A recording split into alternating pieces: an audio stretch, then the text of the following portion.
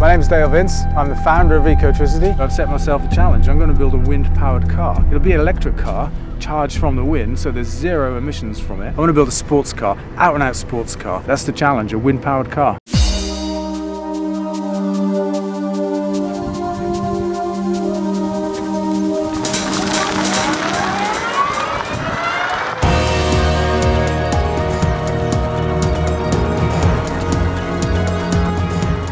Testing here at Tiddenham again, and it's all going very well.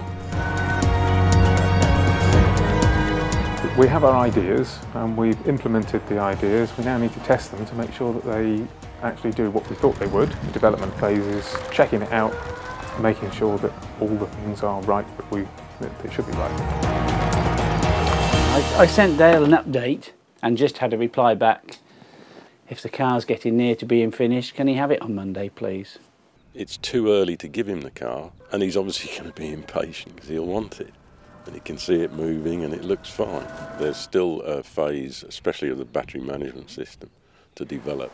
We've, we've had to get the car going because, um, because of the time it's been taking me doing the BMS. Rather than just stopping and waiting for Tim to catch up, we diverted him onto doing the vehicle control computer to get the car running. So there's a massive amount of data that at the minute Tim is logging as the passenger. And that needs to continue until the BMS is ready. At the moment we can charge the car quite happily. You just plug your laptop in and tell the you know, sw- switch it on and adjust it and, and let it go. So we can, we can do it, but it's quite a manual process. Um, that needs to be automated. The car has to be driven. It has, we have to put some miles in the car to be able to sort these things out. It's almost unheard of to come to first test and it to run with no problems. It's very, very rare. You can easily spend as much time and money, if not more, on the development of the car as the design of the car.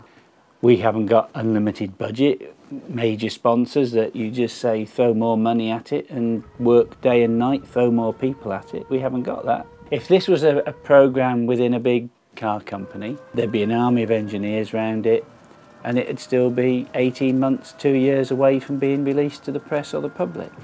There's a fair bit of brain power got into it from everybody. Uh, so it's, that's good. There's a lot of pressure from Dale saying, come on, I want it, I want it, I want it. We would advise not at this stage.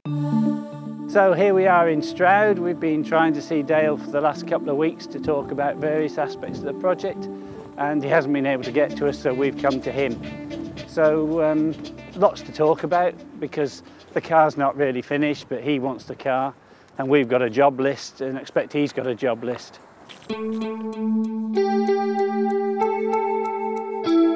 Yes, he is going to take the car away, but not for another couple of weeks. We're getting the car ready now for Dale to use so that he's got it in a real world environment. So Dale is now really integrated into the development team and developing the car. Guys arrived at my house about half an hour ago with the truck, dropped the car off, ran me through a set of instructions, gave me a handbook.